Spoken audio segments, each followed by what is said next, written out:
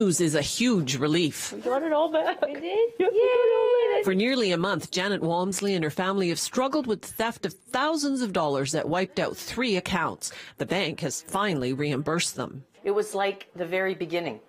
I had to call them, so I didn't know it had happened. Scotiabank failed to tell the family its savings had been restored.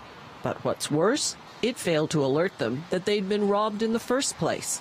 I checked my cell, I te- checked my texts, I checked my landline. I had no calls. I had nothing. When Walmsley's debit card was declined and she couldn't access her online account on October 23rd, that's when she realized something was wrong.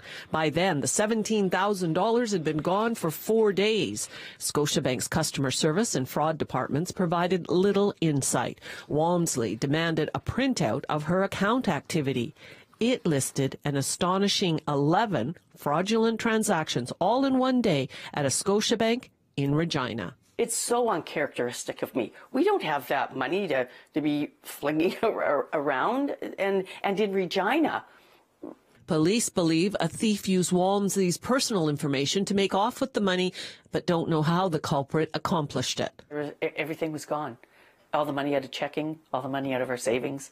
And what hit the most was my daughter, who's autistic, Jenny, was seeing that her trust account that was in my name it was depleted. It was everything was gone. According to Walmsley, Scotiabank staff fell short several times during the resulting investigation. She says she was asked repeatedly for police files that she had already shared with the bank. She was offered no updates on the investigation and was simply kept in the dark.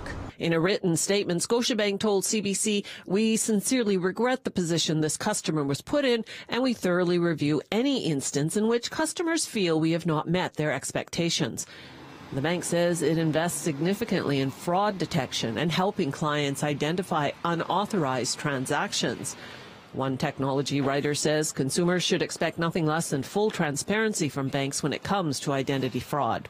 I don't think anyone out there has ever thought to themselves, you know, I have too much information about what's going on in my situation. So if you are in a position where you're in customer service or you are in, in a fraud department, um, you know, really take that time to try to put yourself in the customer's shoes. Janet Walmsley still has no explanation from Scotiabank. This has been mentally, physically, and of course financially devastating and wearing and grueling. I don't want anyone else to have to go through this. Belle Puri, CBC News, Vancouver.